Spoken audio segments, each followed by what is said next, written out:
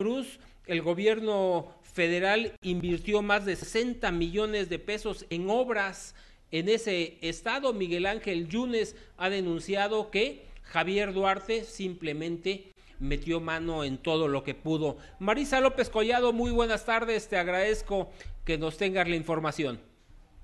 Eduardo, nada que agradecer, al contrario, gracias a ustedes por el espacio.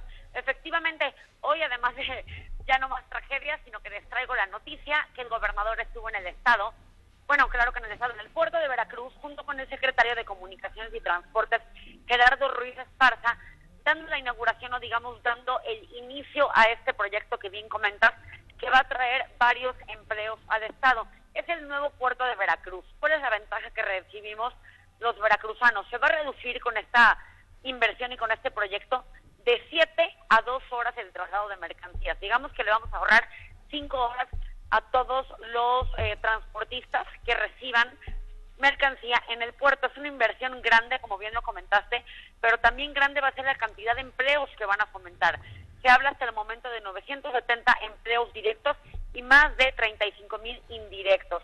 Todo esto lo dio en sus redes sociales vía Facebook y eh, Facebook Live y Periscope, porque el gobernador es muy afecto a dar los comunicados en redes sociales. Digamos que nosotros, la prensa, tenemos que estar monitoreando su agenda.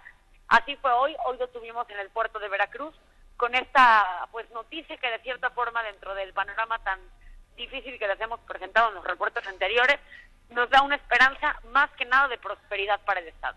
Enhorabuena porque así se activan fuentes de empleo y eh, esas fuentes de empleo sin lugar a dudas generan eh, capacidad de compra y, de activación del comercio y la economía en el estado de Veracruz. Muy bien, eh, Marisa López Collado, muchísimas gracias por la información. Eduardo, efectivamente se reemplazan los empleos, que se reactivan los empleos, que es lo que necesitamos. Gracias a ti y a tu audiencia por escucharme.